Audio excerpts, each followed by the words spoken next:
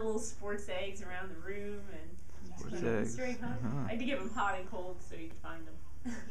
It's nice to make them work for it. Yeah. yeah, I had to make 'em work. But you ate lunch the whole time. The one There you go, Yeah. I was telling Kathy because uh, Margie Maybe. was making fun of me because um, I said something like, "Do you get your Easter cake?"